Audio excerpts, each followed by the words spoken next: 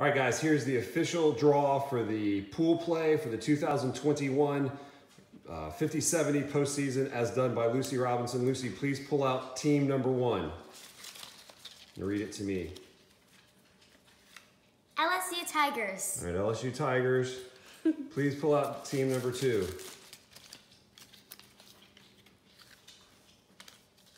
The Sun Devils. ASU Sun Devils. Please Pull out team number three. The Volunteers. UT. All right. Please pull out team number four.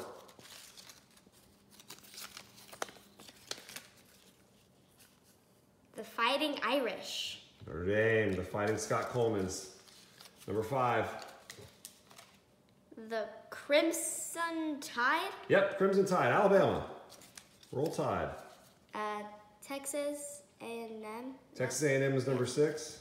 And We should have two more. the Gators. The Gators are number seven.